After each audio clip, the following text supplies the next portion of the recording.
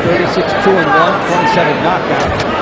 And a big shot by Pacquiao and Lucero's in trouble. That might be the 28th, and it is.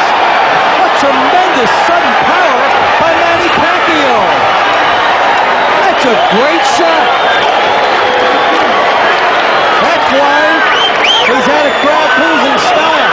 He may not be in the place where they appreciate him, but that is devastating by Manny Pacquiao the junior featherweight division, a division not known for one-punch power. That was an awesome shot. Boom! That shot lands, and watch Lucero treading back, and the referee smartly gets in there. Right, don't see too many one-punch bombs in boxing. What you do in this fight.